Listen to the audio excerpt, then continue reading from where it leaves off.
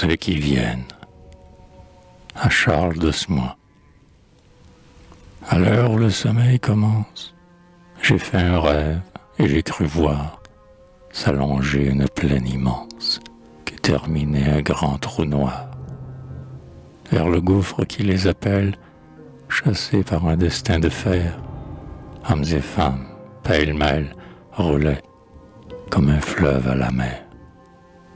Et derrière le troupeau sombre, mes yeux cherchaient avec effort ta vieille faux qui luit dans l'ombre au vieux squelette de la mort. Je ne t'aperçus point, camarde, mais ce que je vis devant moi s'agiter dans la nuit blafarde m'a paru plus affreux que toi. C'était une bruyante armée de petits hommes incomplets, monde exigu, peuple pygmé, portant au front des bourrelets. Les uns jetaient des clameurs grêles, et des deux mains, ramant dans l'air, chancelaient sur leurs jambes frêles comme des barques sur la mer.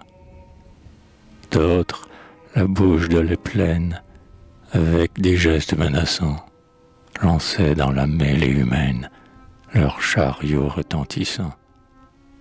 Les derniers, plus faibles encore, se traînant de tous les côtés, semblaient des larves près d'éclore dans leur lange emmaillotée.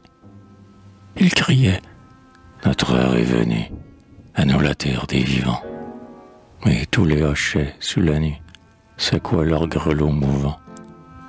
Et les voix exterminatrices, frappant du ciel les noirs arceaux, entonnaient sur l'air des nourrices la marseillaise des berceaux.